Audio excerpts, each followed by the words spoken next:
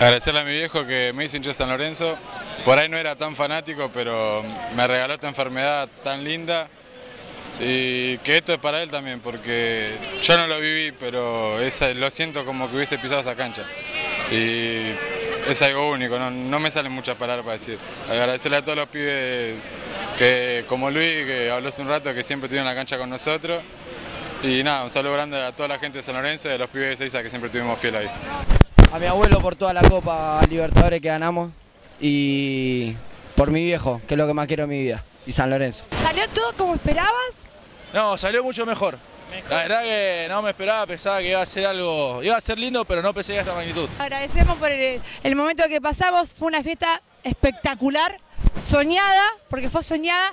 Y sobre todo en paz. muchísima, sí, y muchísima gente. No, es impresionante cuando estamos llegando a- hasta adelante de la carroza. Era impresionante como ver cómo en las pantallas se veía gente volando todavía a San Juan. Era impresionante y vos decís, esto es San Lorenzo. Ahí nos damos cuenta la fuerza que tiene la gente de San Lorenzo para ganarle una multinacional, ni en Europa ni en Barcelona, nadie, nadie lo ha hecho. La verdad que es algo único, ¿no? Todavía no caemos. Vamos a estar días para caer recién.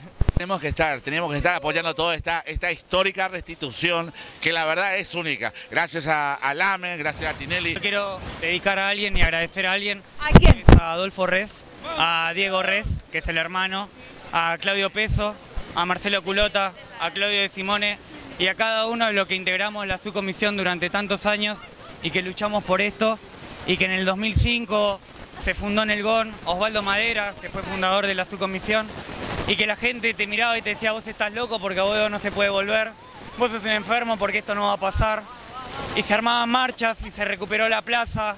Y la plaza iba a ser un colegio, hicimos un polideportivo. Y esto era un supermercado, iban a abrir calles. Y San Lorenzo no lo vendió, se lo quitó la dictadura, Cachatore, ¿sí? Entonces la gente lo recuperó y no nos lo regalaron y no nos lo dieron, la gente lo pagó metro cuadrado por metro cuadrado. Hola, yo soy Tomás me- y yo eh, toqué el- a donde va a ser San Lorenzo y hice como unos picaditos y quiero que me firme la pelota eh, como Colochini. Nada más. Se lo dedicamos a toda la gente, a mi viejo que me hizo cuervo y a todos los putos que nos preguntaban de qué barrio sos. Lo mejor. Dale.